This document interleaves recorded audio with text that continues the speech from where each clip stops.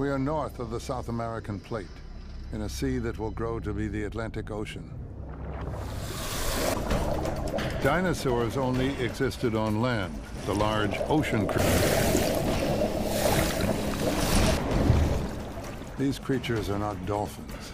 They are ichthyosaurs from 160 million years ago. Some species of ichthyosaurs grew up to 75 feet, always another predator's prey.